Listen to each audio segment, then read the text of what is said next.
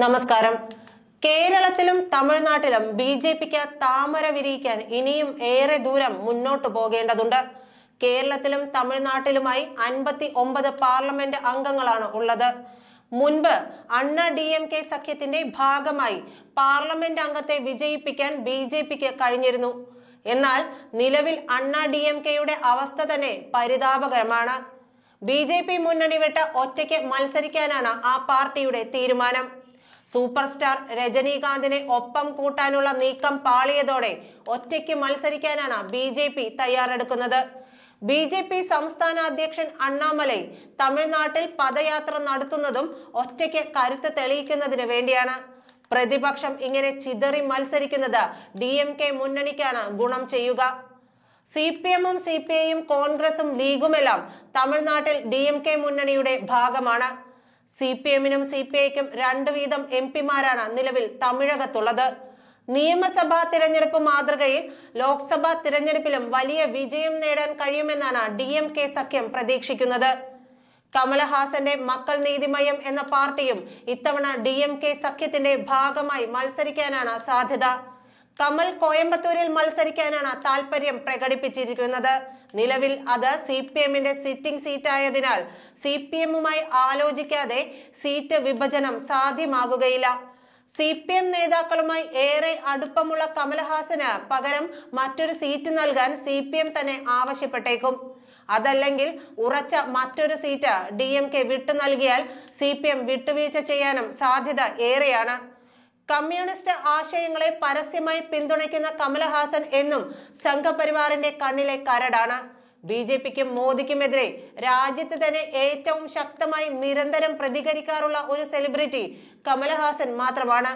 മറ്റു താരങ്ങളെ പോലെ കയ്യടി കിട്ടാനോ വാർത്താ താരമാകാനോ അല്ല മറിച്ച് പ്രത്യയശാസ്ത്രപരമായ എതിർപ്പാണ് കമൽ പ്രകടിപ്പിക്കാറുള്ളത്. കമലഹാസന്റെ ഈ നിലപാടിന് കേരള മുഖ്യമന്ത്രി പിണറായി വിജയൻ വലിയ പിന്തുണയാണ് നൽകുന്നത്. തമിഴകത്തെ പ്രത്യേക രാഷ്ട്രീയ സാഹചര്യം മുൻനിർത്തി ഒരു രാഷ്ട്രീയ പാർട്ടി രൂപീകരിക്കാൻ കമൽ ആലോചിച്ചപ്പോൾ അത് സംബന്ധമായി അദ്ദേഹം ആദ്യം ചർച്ച നടത്തിയതും പിണറായി വിജയനോടാണ്. ഇക്കാര്യം കമൽ തന്നെ മുൻപ് തുറന്നു പറഞ്ഞിട്ടുള്ളതുമാണ്. കമലിനെ പോലെ ഉയർന്ന ബോധമുള്ള ഒരാൾ പാർലമെന്റിൽ ഉണ്ടാകണമെന്ന് തന്നെയാണ് പിണറായി ഉൾപ്പെടെയുള്ള സി നേതാക്കൾ ആഗ്രഹിക്കുന്നത്. ലോക്സഭാ തിരഞ്ഞെടുപ്പിൽ ഒരാൾക്ക് ഒന്നിൽ കൂടുതൽ മണ്ഡലത്തിൽ മത്സരിക്കാമെന്നിരിക്കെ തമിഴ്നാടിന് പുറമെ തിരുവനന്തപുരത്ത് മത്സരിക്കാൻ കമൽ തയ്യാറായാൽ അദ്ദേഹത്തിന് പിന്തുണ നൽകുന്ന കാര്യം സി പി എമ്മും സി പി ഐയും പരിഗണിക്കുമെന്നാണ് ലഭിക്കുന്ന സൂചന. നിലവിൽ ഇടതുപക്ഷത്ത് സി പി ഐ മത്സരിക്കുന്ന മണ്ഡലമാണ് തിരുവനന്തപുരം. തൃശൂരിന് പുറമെ ഉറപ്പായും അട്ടിമറി വിജയം നേടുമെന്ന് ബി ജെ പി പ്രതീക്ഷിക്കുന്ന മണ്ഡലം കൂടിയാണ് തിരുവനന്തപുരം. ഇതിനായി കേന്ദ്ര നേതാവിനെ തന്നെ കാവിപ്പട രംഗത്തിറക്കുമെന്ന് പ്രതീക്ഷിക്കപ്പെടുന്ന മണ്ഡലത്തിൽ കമലഹാസൻ എതിർ സ്ഥാനാർത്ഥിയായാൽ കനത്ത പോരാട്ടം തന്നെയാണ് നടക്കുക. സിറ്റിംഗ് എം ആയ ശശി തരൂർ തന്നെയാകും ഇത്തവണയും യു ഡി എഫ് സ്ഥാനാർത്ഥി എന്നതും ഉറപ്പാണ്.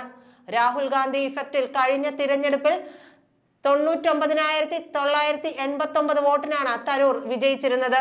ബി ജെ പി സ്ഥാനാർത്ഥി കുമ്മനം രാജശേഖരനെയാണ് അദ്ദേഹം പരാജയപ്പെടുത്തിയിരുന്നത്. അതായത് ഒരു ലക്ഷത്തിന് പതിനൊന്ന് വോട്ടിന്റെ കുറവ് മാത്രം. രണ്ടായിരത്തി പതിനാലിനേക്കാൾ ഒരു ലക്ഷത്തി മുപ്പത്തി മൂവായിരത്തി ഒരുന്നൂറ്റി മുപ്പത്തി ഒമ്പത് വോട്ടുകളാണ് രണ്ടായിരത്തി പത്തൊമ്പതിൽ കൂടുതലായി പോൾ ചെയ്തിരിക്കുന്നത്. രണ്ടായിരത്തി പതിനാലിൽ എൺപത്തി ഏഴായിരത്തി അറുന്നൂറ്റി നാൽപ്പത്തി ഏഴ് വോട്ടുകൾ പോൾ ചെയ്തപ്പോൾ രണ്ടായിരത്തി പത്തൊമ്പതിൽ ഇത് പത്ത് ലക്ഷത്തി മൂവായിരത്തി എഴുന്നൂറ്റി എൺപത്തി ആറായാണ് വർദ്ധിച്ചിരുന്നത്. ഈ വർദ്ധിച്ച വോട്ടിന്റെ നേട്ടം കൂടുതൽ ലഭിച്ചതും ശശി തരൂരിന് തന്നെയാണ്. രണ്ടായിരത്തി പതിനാലിൽ ആകെ രണ്ട് ലക്ഷത്തി തൊണ്ണൂറ്റി ഏഴായിരത്തി എണ്ണൂറ്റി ആറ് വോട്ട് നേടിയ ശശി തരൂരിന് രണ്ടായിരത്തി പത്തൊമ്പതിൽ നാല് ലക്ഷത്തി പതിനാറായിരത്തി ഒരുന്നൂറ്റി മുപ്പത്തൊന്ന് വോട്ടുകളാണ് ലഭിച്ചത്. അതുപോലെ ബി ജെ പിക്കും രണ്ടായിരത്തി പതിനാലിനേക്കാൾ മുപ്പത്തൊന്നായിരത്തിലേറെ വോട്ടിന്റെ വർധനവുണ്ടായിട്ടുണ്ട്. എന്നാൽ ഇടതുപക്ഷത്തിന് രണ്ടായിരത്തി പത്തൊമ്പതിൽ വെറും ഏഴായിരത്തി അഞ്ഞൂറോളം വോട്ടിന്റെ വർധന മാത്രമാണ് ഉണ്ടായിട്ടുള്ളത്. സ്ഥാനാർത്ഥി നിർണയത്തിലെ പാകപ്പിഴവാണ് യഥാർത്ഥത്തിൽ ഇടതുപക്ഷത്തിന് തിരിച്ചടിയായിരിക്കുന്നത്. ഈ ന്യൂനത മറികടക്കാൻ പറ്റിയ സ്ഥാനാർത്ഥിയെയാണ് ഇടതുപക്ഷം തലസ്ഥാനത്ത് തേടുന്നത്.